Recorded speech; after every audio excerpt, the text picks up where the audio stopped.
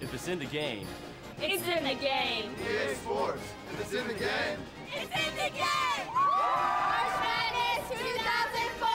It's in the game. NCAA March Madness 2004.